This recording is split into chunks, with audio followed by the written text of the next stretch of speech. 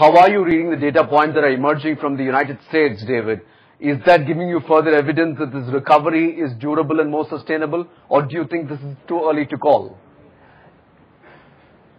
Now, look, again, we think at this stage that, that any recovery in the US has just been so long and drawn out and so mediocre. Uh, we can't really see any change in that.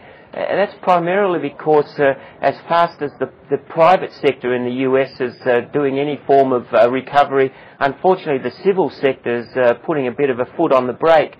So we think while that's still going on, the US is going to really, in terms of growth, uh, struggle for the remainder of this year and probably through some parts of 2014 as well.